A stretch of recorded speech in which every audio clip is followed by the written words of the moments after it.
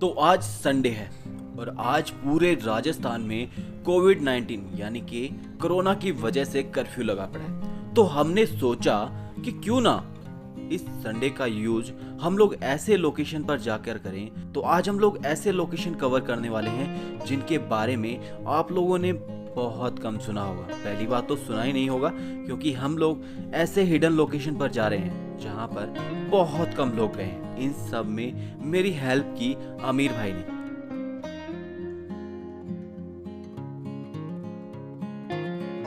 तो आज हम लोग पहुँचे हैं एक ऐसे लोकेशन पर, जहाँ पर बना हुआ है एक ट्री हाउस और इस ट्री हाउस को देखकर आप बस एक ही बात कहेंगे कि काश ये ट्री हाउस मेरा होता, क्योंकि ये ट्री हाउस सच में बहुत ही सुंदर बनाया गया है।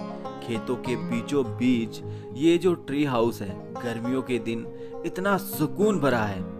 इसकी आप कल्पना ही नहीं कर सकते। और इसके जो ओनर है, वो मंडावा हवेली के भी ओनर है। और इनसे हम बातचीत करेंगे बाद में, लेकिन पहले हम देखेंगे अंदर से इसी ट्री हाउस को। तो अभी आप लोग देख ही सकते हैं कि ये जो ट्री हाउस है, वो अंदर से कैसे बना हुआ है। ये चारों तरफ़ से हवादार यानी कि राजस्थान की गर्मी में, अगर ऐसा ट्री हाउस आपके पास हो तो आप लोग बस एक ही बात कहेंगे कि हाँ हम राजस्थान में बड़े ही आराम से और खुशी खुशी रह सकते हैं। और ये जो ट्री हाउस है, इसके अंदर आपको सारी की सारी फैसिलिटी देखने को मिलेगी। और इस ट्री हाउस की जो छत है, उसके ऊपर की साइड गोबर का लेप किया गया है।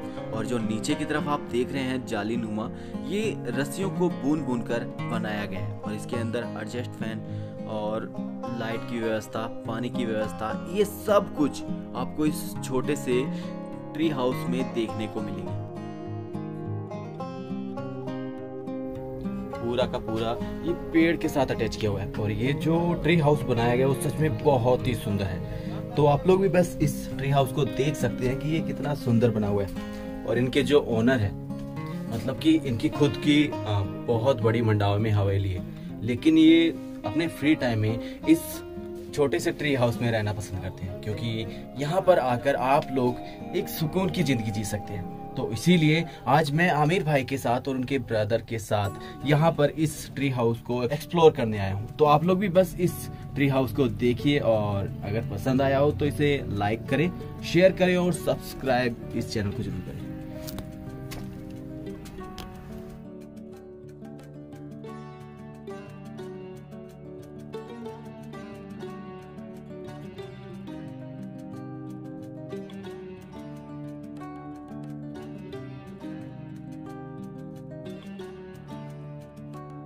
तो फ़िलहाल आप लोग देख रहे हैं इसी ट्री हाउस को और इसके बारे में जानते हैं हम अंकल जी से कि ये किस तर्ज पे बनाया गया है और कैसे बनाया इन्होंने। वैसे अमीर भाई ने मुझे बताया इस ट्री हाउस के बारे में कि कई न्यूज़ चैनल वाले भी अंकल जी से इंटरव्यू लेने के लिए आ चुके हैं इस ट्री हाउस के लिए। तो चलो हम भी जानते हैं इस ट्री हाउस के बारे में अंकल जी से। रहने के लिए हमारे एक होटल भी है होटल मंडावा हवेली भी है हमारी है वो भी। और लेकिन प्रकृति के नज़दीक रहने के लिए मेरा मन मन में है कि भाई प्रकृति के नज़दीक रहूँ आप इसलिए मैं ने अटक बनाई। और ये नारियल की रस्सियों से बनाया हुआ है। नारियल की रस्सियों को गूंथ के और इसे बनाया है। इसमें बाथरूम भी है, अटैच लेटरिन बाथरूम है। और इसके चारों ओर एक पाइप लगी हुई है, जिसके छेद है। तो उससे बूंद बूंद बूंद बूंद सारी रस्सियाँ हैं, वो भीग जाती है। गर्मी में खूब ठंडी हवा प्रकृति के नज़दीक रहने के लिए या यहाँ ज़्यादा आनंद आवे, इसलिए मैंने इसे बनाया तो अंकल जी का जो ट्री हाउस है, वो सच में बहुत ही सुंदर और बहुत ही आरामदायक है। और ये जो खेतों के बीच में इन्होंने जो ज़िंदगी चुनी है, वो सच में बहुत ही अच्छी है।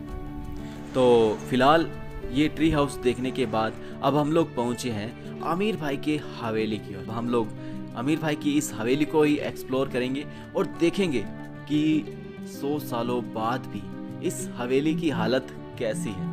वैसे बाहर से अगर इस हवेली को देखें तो इसकी हालत बहुत ही खस्ता हुई पड़ी है।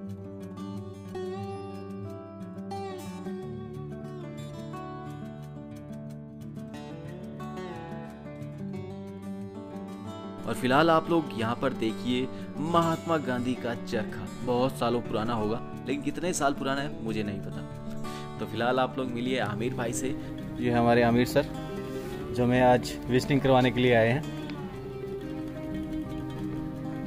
तो फ़िलहाल अभी इस हवेली में हम तीन जने हैं मैं आमिर और शरीफ भाई। तो अभी हम इसी हवेली को अंदर से देख रहे हैं और अंदर आते ही हमें जो देखने को मिला वो ये कि इस हवेली की देख रेख नामात्र है, लेकिन फिर भी इसकी जो कंडीशन है वो काफ़ी अच्छी है, क्योंकि बिना देख रेख के भी ये बहुत सौ साल पुरानी हवेली अभी भी एकदम सही की सही पड़ी है।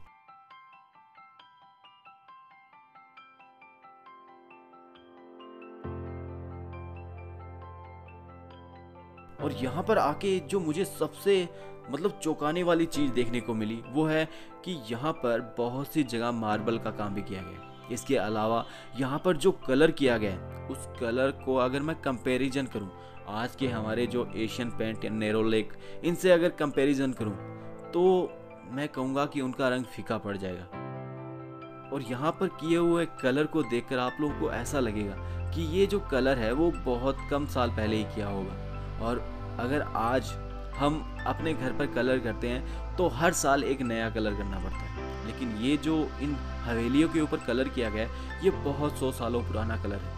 और ये अभी भी जो का त्यों पड़ा है। इन हवेलियों के अंदर भीति चित्रकारी है, वो भी देख सकते हैं। और इसके अलावा इन हवेलियों के अंदर आप लोगों को एक चीज़ और देखने को मिलेगी, और वो ये कि यहाँ पर अभी भी बहुत से लवर्स अपनी प्रेम गाथा लिखे बगैर नहीं रहते।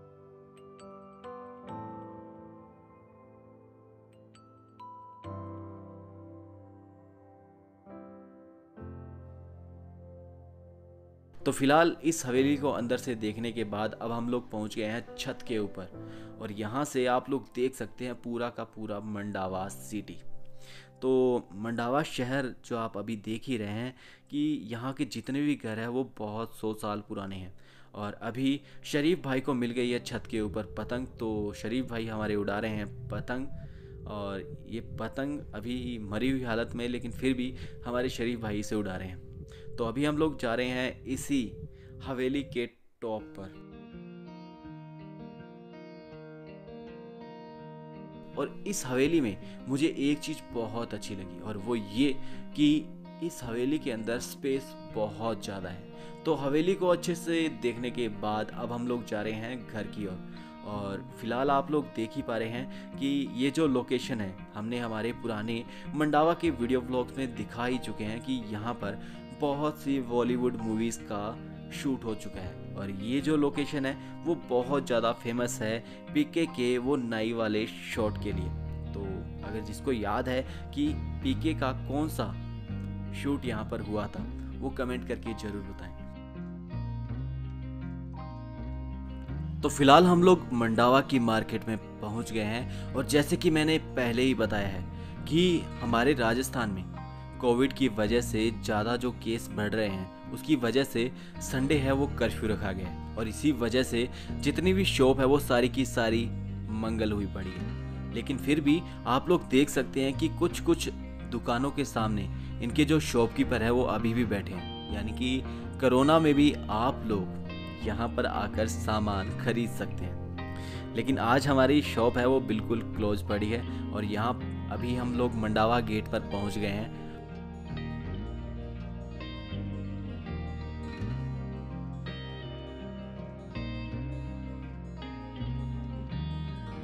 तो फ़िलहाल आप लोग देख ही सकते हैं कि मेडिकल के अलावा यहाँ पर कई दुकानों के सामने यहाँ की जो शॉप शॉपकीपर है वो आपको दिखाई देंगे। और ये है हमारी रुद्रा आउटफिट।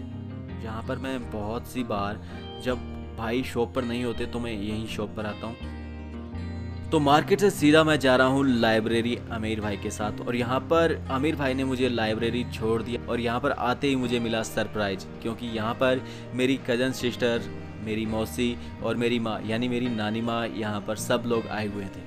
तो आप लोगों को आज का हमारा ये जो वीडियो ब्लॉग है, कैसा लगा? लाइक, शेयर और कमेंट करके ज़रूर बताना।